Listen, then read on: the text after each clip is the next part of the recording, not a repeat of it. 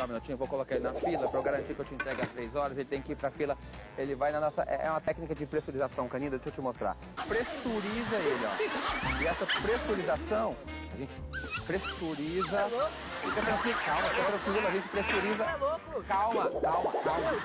Calma, vou tirar agora. A gente faz a pressurização. Tá, tá, claro. É, a- é exatamente, a gente faz a pressurização da Lola. Calma, eu vou tirar agora. Vai queimar a mão, dá só um minutinho. Tira daí, Calma, é Daniel, Tá né? Calma, Daniel.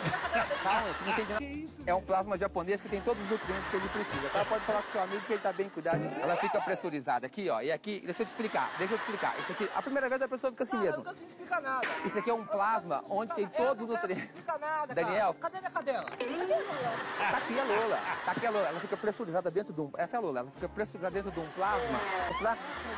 Ele fica aqui já já o pessoal pega, olha só. Já deixar o Juninho aqui na segunda posição. Só tem um na frente do Juninho e depois é o Juninho. Aqui, Sandrine, a gente tem todos os cãezinhos que vieram pra cá hoje, pra que você fique tranquila.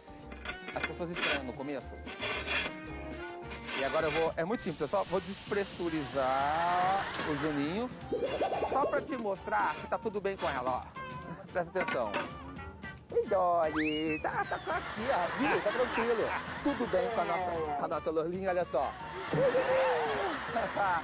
tá vendo? Ele tá vendo? Tá inteirinho, não tá?